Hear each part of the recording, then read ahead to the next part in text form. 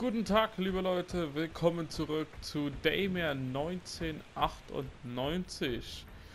Ja, letzte Folge hatten wir dort oben, wo wir die Treppe hochgegangen sind, so ein ganz lautes Geräusch gehört. Ja, wir wissen ja leider noch nicht, was das war. Auf jeden Fall mal schätze ich, dass das kein normaler Gegner war. Also ich gehe davon aus, dass es eventuell ein neuer Gegner ist oder sogar ein Bossgegner. Wir haben ja jetzt zwei Wege. Wir können ja einmal hier entlang oder oben entlang. Und... Moment. Erstmal hier die hier ausschalten. So. Zack.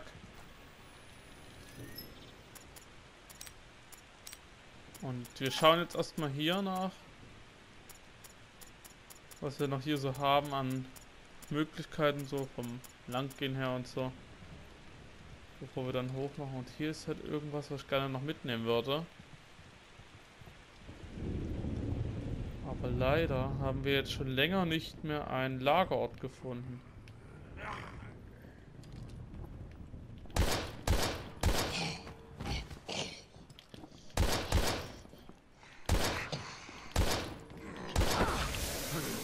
Hilfe!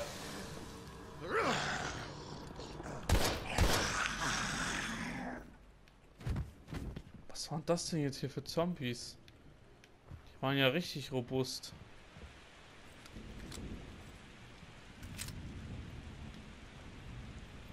So, Moment. Ich glaube, jetzt können wir das, was dort liegt, mitnehmen. Weil wir hauen uns nämlich jetzt mal hier den Riegel rein. So.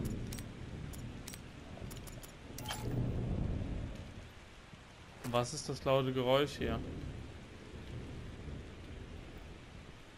Das ist doch kein Gewitter, oder? Das ist 100 Pro dieses laute Vieh, was wir eben gehört haben. Auch schon beim letzten Mal. Das ist es doch. Oder? Ey, das hört sich richtig unheimlich an.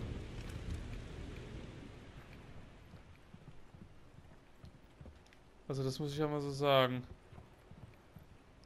Das tut mich schon so ein bisschen beklemmen. Also das ja, gibt eine Art beklemmendes Gefühl. Muss ich an der Stelle ehrlich sagen. Was liegt dort für Munition? Mist. So, hauen wir das mal rein. Was haben wir jetzt hier? Magnum-Munition. Okay, so starke Munition hier nochmal. Und auch an sich ja nochmal andere Vorräte. Das ist doch 100 pro irgendwas Starkes, wo wir jetzt gleich dagegen kämpfen. Ich sehe schon kommen. Es scheint gerade alles so darauf hinauszulaufen eigentlich. So, wir nachladen mal hier die Magnum. So. Halt, Magnum ist noch nicht ganz komplett durchgeladen. So. Hier wäre noch Heilung. Ja. Die können wir halt leider nicht mehr mitnehmen. Es sei denn, wir schmeißen die eine Magnumkugel weg. Das wäre eine Möglichkeit, aber eine Magnumkugel ist auch viel wert. Vor allem halt, weil die Magnum ordentlich reinhaut. Das ist halt das Ding. Die Magnum ist unsere stärkste Waffe neben der Pistole. Ja, und es geht jetzt nur noch dort oben entlang. Ja, das heißt, ich wette, wir treffen 100 Bruder das Ding, was wir so laut der Geräusche machen haben gehört. Ja. Ach Mann. Hilfe. Du bleibst liegen, verstanden? Danke. Ja. So. Gut. Hier geht's entlang. Hier sind noch mehr. Wir laden mal lieber nach. Weil das ist anscheinend nicht nur der eine. Ich höre nämlich hier links auch noch einen. Ja, da kommt sogar einer langsam angelaufen. Halt. Eigentlich erstmal nachladen, aber... Okay.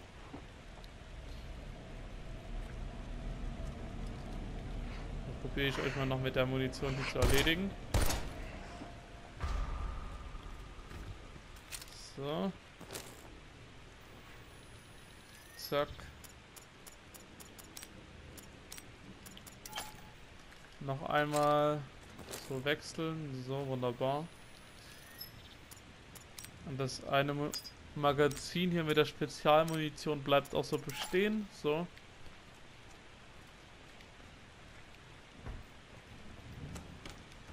So, hier kommen wir rein. Hier geht es nach unten, so wie es aussieht. Moment mal, wir schauen uns erstmal hier kurz außen noch um ein wenig. Ich meine, mitnehmen könnten wir eh nichts. Ja.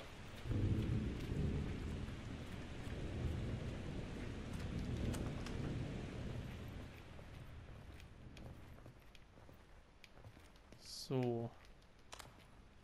Ich muss das Sicherheitssystem deaktivieren. Unsere Figur will also hier durch das Tor. Hm. Da würde man eigentlich auch drüber kommen.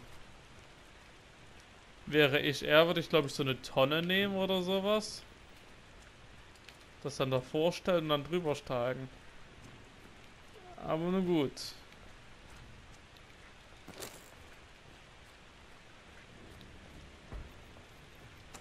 So, dann wollen wir mal hier rein. Moment mal. Da hinten geht es nochmal weiter hoch und hier hängt der Aufzug fest. Okay. Was haben wir hier? Oh, ho, ho, ho, ein Lager. Dass ich das mal wieder erlebe, freut mich echt. Das freut mich wirklich. Moment, einmal hier abspeichern. Kapitel 4 Funkturm. So, da wir also den Lagerort haben, gehen wir mal ganz kurz zurück. Ja. Denn dann würde ich mir mal noch ganz gerne dort diese eine Heilung holen, die wir noch weiter unten hatten, aber nicht mitnehmen konnten. Und das muss ich immer echt so sagen, die Geräusche dort oben tun mich echt wirklich ein bisschen beängstigen. Ich meine, es regnet und so, das Wetter ist gerade blöd, aber das hört sich halt nicht so richtig für mich nach Gewitter an. An manchen Stellen.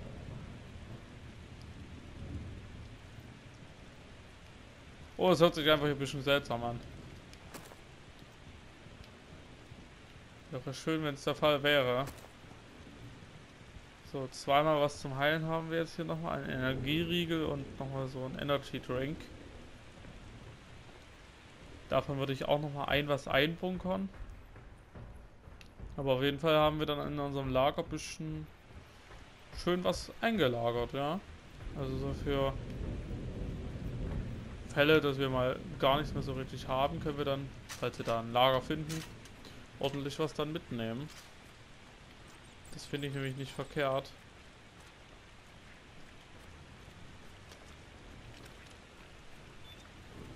Das finde ich überhaupt nicht verkehrt. Also man sollte eigentlich immer mal ein bisschen was aufheben. So. Jetzt einmal hier wieder rein. Hallo? Öffne die Tür. Gut. Und dann geht es jetzt hier gleich nach oben. Aber dort haben wir ja die Treppe gesehen. Dort geht es dann jetzt gleich lang. Energy Drink, Energy Drink, Riegel. Hm. Was nehmen wir denn noch mit an Heilung? Munition bleibt alles bei mir, würde ich sagen. Obwohl, wir könnten noch hier die Magnum-Kugel, die wir hier gelagert haben, sehe ich gerade noch mitnehmen. Ja, dann hätten wir acht Kugeln dafür dabei. Und noch einmal Heilung. Dann haben wir zweimal eine starke Heilung dabei. Ich glaube, das reicht. Oder wir machen es so eine starke Heilung und eine mittlere. Ja, eine starke und eine mittlere, würde ich sagen. So. Gut. Unser aktueller Gesundheitszustand ist, glaube ich, ganz gut, oder? Ja, 100. Und wer hier den erledigt mit dieser Stange? Wer hat den wohl hier erledigt? Ob das vielleicht der war, den wir jagen? Wer weiß, wer weiß. Wow.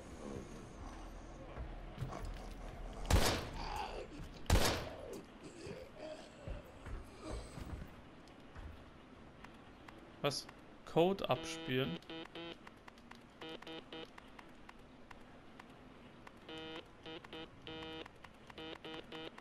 Ach, mit diesen Geräuschen hier sollen wir hier was abspielen.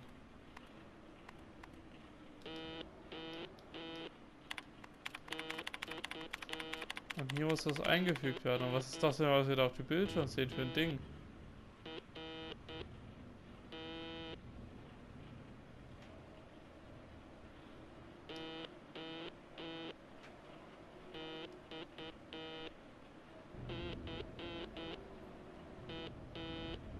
Moment mal, ich glaube, das, was wir da hören, sollen wir dort abspielen. Kann das sein?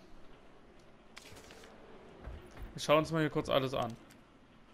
Alarm wurde...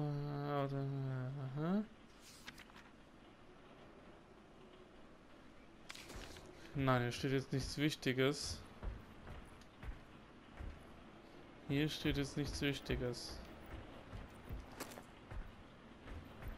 Tyler Audioprotokoll. Das sollten wir uns vielleicht mal anhören. Audio. Tyler. Personal voice recording Agent Tyler. Quadrant OR35. I just got word they're running another test on the equipment tonight. That means I gotta shut down the radio antenna for more than 20 minutes. severing all communications and cutting off Keensight from the rest of the world. For fuck's sake, I wanted to go home tonight, but instead, I'll be sleeping in this filthy fucking bed, shut away in a giant cinder block. I'm not exactly sure what these tests are for, but they're not paying me enough to be locked in this concrete freezer like some goddamn hermit. I've made up my mind. I'm gonna quit and move as far away from this city as I can. I mean, what's the worst they could do to me anyway? Even if they heard this. What, fire me twice? Hm, okay. Ja, so, ich muss jetzt nochmal kurz leise sein und hier zuhören. Ich glaube, ich muss hier diese Melodie bestimmt an dem anderen Ding abspielen. Also ich muss mir das vielleicht merken und muss es dann vielleicht hier reinmachen. Oder?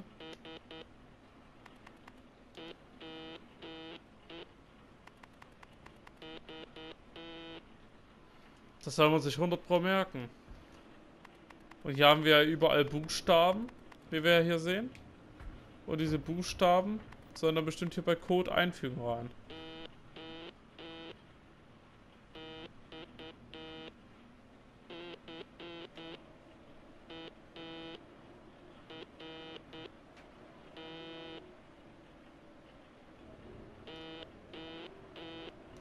Also es fängt auf jeden Fall an mit so einem am Anfang. Vielleicht das hier? Also das ist ein O. Ja, das ist ein O. Klappt das, dass man das hier einmal immer einen Buchstaben reinmacht das bleibt dann, bis ich wieder dran bin? Klappt das? Ja, das ist noch da gut.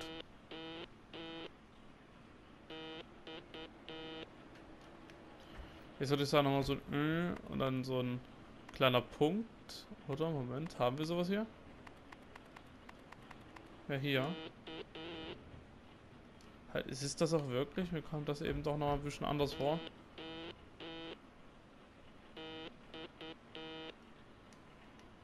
Hm, okay. Moment mal. Hm. Jawohl. Wir haben es geschafft. Sehr gut. Bei dem einen Ding ist jetzt grünes Licht. Sehr gut. Wir kommen jetzt hier wieder weiter. So, dann können wir jetzt hier einmal rausgehen. Halt, Moment mal. Können wir jetzt diesen Aufzug rufen? Nein. Aber wir können jetzt dort hinten rein.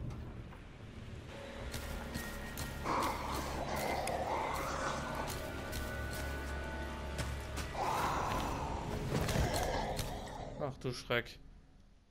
Ich will nicht wissen, was das ist. Oh Gott, das sehe ich doch. Okay, das heißt bei Bosskampf. Ja, da oben stand gerade besiege Castor Hades.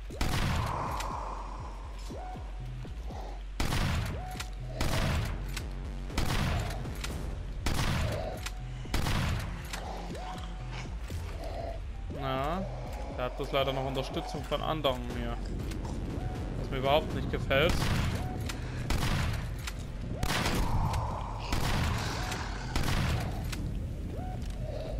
So, Moment.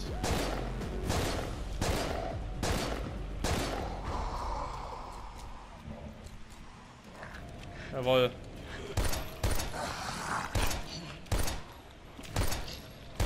Kommt weg mit dir. Gut. Wir haben ihn besiegt. Da bin ich aber jetzt echt beruhigt. Der eine steht nochmal auf. Bleib doch bitte liegen. Hallo. Richtig so, richtig so, richtig so. Gut. Jetzt einmal hier nachladen die Schrotflinte. So. Hier einmal ran.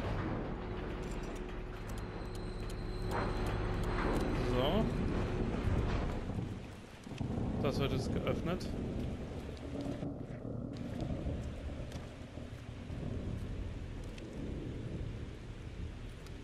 So. Jetzt würde ich gerne noch einmal hier reingehen. Kann man das jetzt einfach nicht? Okay. Gut, dann gehen wir weiter.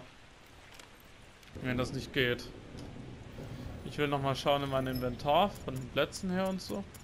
Ja, es sieht okay aus. Moment. So. Jetzt bin ich zufrieden. Wir können weiter. Major, I'm on the roof of the dam. The Citadel's been overrun. I repeat, the Citadel's been overrun. The whole situation's foobar. No survivors. Hold on. No. Raven, respond, goddammit. Shit, I'm running out of time. So, you made it this far. I'm coming for you, fucker. We'll meet real soon, you and I. Jetzt, da Raven Gewissheit darüber hat, dass Sandman noch am Leben ist, muss er sich zum Hubschrauberlandeplatz auf dem Damm aufmachen, wo er sich endlich mit dem Major treffen und ein für alle Mal aus dieser Stadt des Todes fliehen kann. Doch zuerst muss er sich Zugang zu den oberen Etagen verschaffen, wo bereits unzählige Infizierte in einem gewaltigen Unheil verkünden ein Labyrinth aus Tunnel lauern könnten. Oh oh. Was? Kapitel 5? Nullsummenspiel. Zwei Stunden zuvor.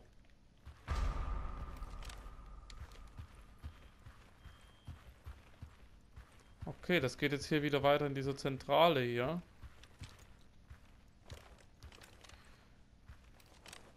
So.